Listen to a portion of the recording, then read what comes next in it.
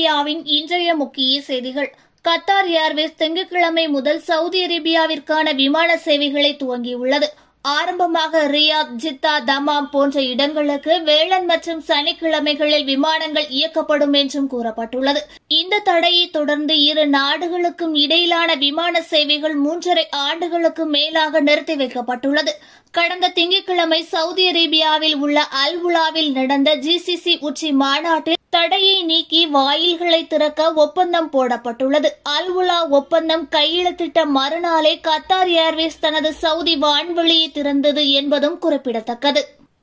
Saudi அரேபியாவில் அதிகமான மக்கள் கோவிட் நைன்டீன் தடுப்பூசியை பெற்றுள்ளார்கள். அதுவும் ஒரு லட்சத்தி எழுபத்தெட்டாயிரத்திற்கும் மேற்பட்ட மக்கள் கோவிட் நைன்டீன் தடுப்பூசியை பெற்றுள்ளதாக சவுதி அரேபியாவின் சுகாதார அமைச்சகம் தெரிவித்துள்ளது. மேலும் அனைவரும் தடுப்பூசி போடுவது என்பது அவர்களின் நோய் எதிர்ப்பு சக்தி அதிகரிப்பதன் மூலம் வைரஸிலிருந்து விடுபடுவது அவர்களின் குறிக்கோள்களாக இருக்க வேண்டும் என்றும் கூறப்பட்டுள்ளது. சவுதி அரேபியாவில் இரண்டாயிரத்தி இருபத்தி ஒன்றில் ஜனவரி மாதத்திற்கான பெட்ரோல் டீசல் விலைகள் நிர்ணயிக்கப்பட்டுள்ளது. தொண்ணூத்தி ஒன்று ரக பெட்ரோல் ஒரு லிட்டர் ஆனது ஒன்று புள்ளி அறுபத்தி ரெண்டு சவுதி ரியல்களாக விற்கப்படுகிறது. அதேபோல் தொண்ணூத்தைந்து ரக பெட்ரோல் ஒரு லிட்டர் ஆனது ஒன்று புள்ளி எழுபத்தைந்து சவுதி ரியல்களாக விற்கப்படுகிறது. டீசல் ஒரு லிட்டர் ஆனது ஜீரோ புள்ளி ஐம்பத்தி ரெண்டு சவுதி ரியல்களாக விற்கப்படுகிறது. அதேபோல் மண்ணெண்ணெய் ஒரு லிட்டர் ஆனது ஜீரோ புள்ளி எழுபது சவுதி ரியல்களாக விற்கப்படுகிறது. அதேபோல் எல்பிஜி ஆனது ஜீரோ புள்ளி எழுபத்தைந்து சவுதி ரியல்களாக விற்கப்படுகிறது. சவுதி அரேபியாவில் மொபைல் போன்கள் சிம் கார்டுகளை சட்டவிரோதமாக விற்பனை செய்த ஏழு இந்திய நபர்களையும் ஒரு பங்களாதேஷ் நபர்களையும் காவல்துறை கைது செய்துள்ளது. அவர்களை ரகசிய பிரிவு அதிகாரிகள் ரியாத்தில் வைத்து கைது செய்துள்ளதாக கூறப்படுகிறது.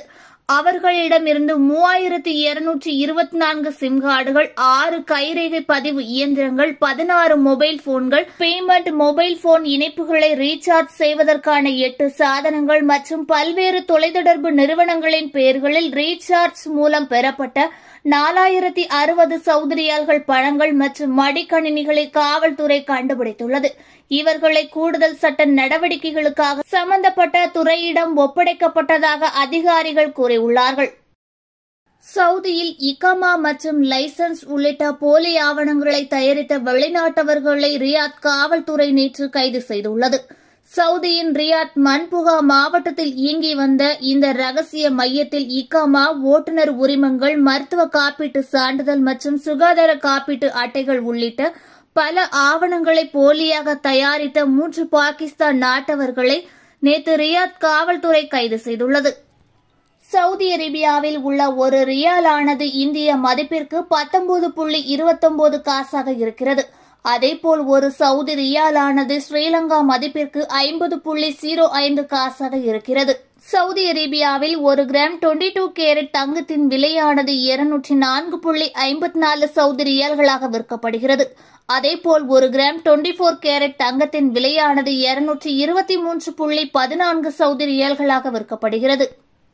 சவுதி அரேபியாவில் கடந்த இருபத்தி நான்கு மணி நேரத்தில் புதிதாக நூற்றி பத்து பேருக்கு கோவிட் நைன்டீன் விளக்குகள் பதிவாகியுள்ளது. இங்கு மொத்தமாக பாதிக்கப்பட்டவர்களின் எண்ணிக்கை மூன்று லட்சத்தி அறுபத்தி மூன்றாயிரத்தி அறுநூற்றி தொண்ணூத்தி இரண்டாக இருக்கிறது. இன்று மட்டும் புதியதாக நூற்றி எழுபத்தி நான்கு பேர் குணமடைந்து வீட்டிற்கு அனுமதிக்கப்பட்ட நிலையில் இங்கு மொத்தமாக குணமடைந்தவர்களின் எண்ணிக்கை மூன்று லட்சத்தி ஐம்பத்தி ஐயாயிரத்தி முன்னூற்றி எண்பத்தி ரெண்டாக இருக்கிறது.